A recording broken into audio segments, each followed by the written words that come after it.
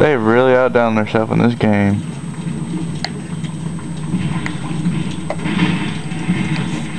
Break the box.